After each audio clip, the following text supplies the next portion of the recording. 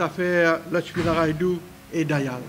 Peu n'a aucun doute que ces deux affaires-là ont contribué à saper le moral de la nation, puis accentué la méfiance et le mépris de la population envers la classe politique.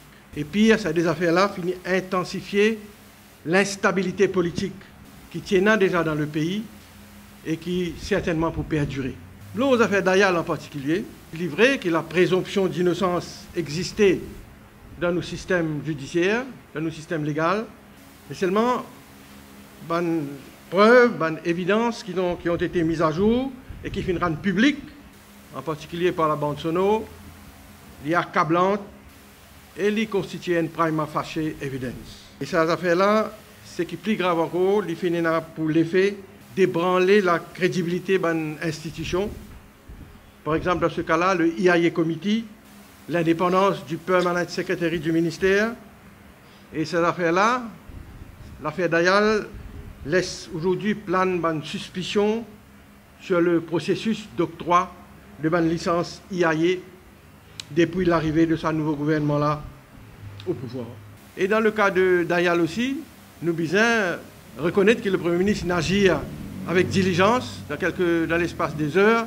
Il fait faire cette déclaration pour pour Dayal step down. Et c'est à cause de ça que donc partient le choix. Quant à Bichou Lachpinaraidou, nous considérons que ce, cas été aggravé.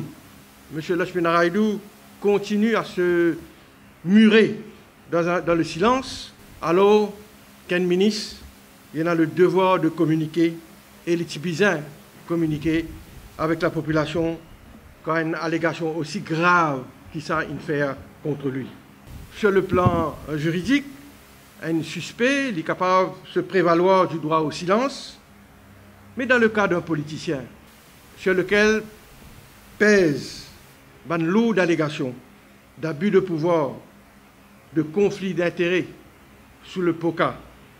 C'est vrai, nous comprenons qu'il y a en convalescence, mais nous pensons, nous, le ministre national tu doit une explication à la population.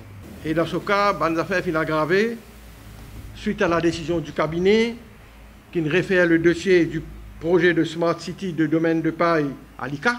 Et ça, même capable d'être perçu comme une motion de blâme contre, contre le ministre national qui type steward ce projet-là, qui tient en sorte ce dossier euh, domaine de paille là.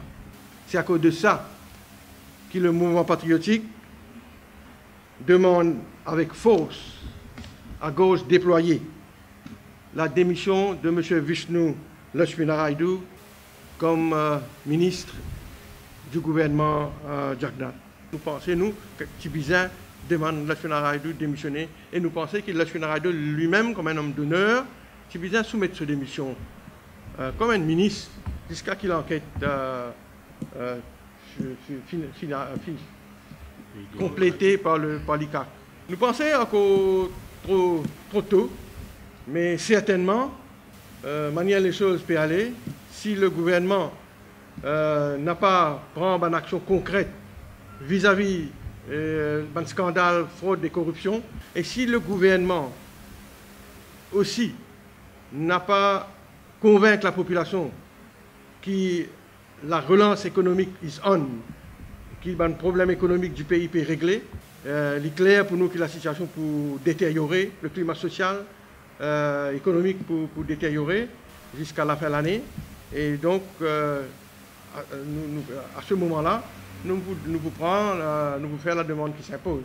Mais pour le moment, nous encore, comment dire, d'un gouvernement une euh, nous, évidemment, euh, rien n'a pas irréversible dans les mois qui peuvent venir. Nous pouvons poursuivre l'action du gouvernement et au moment opportun, quand pour nous l'occasion demande, nous pouvons demander les élections générales.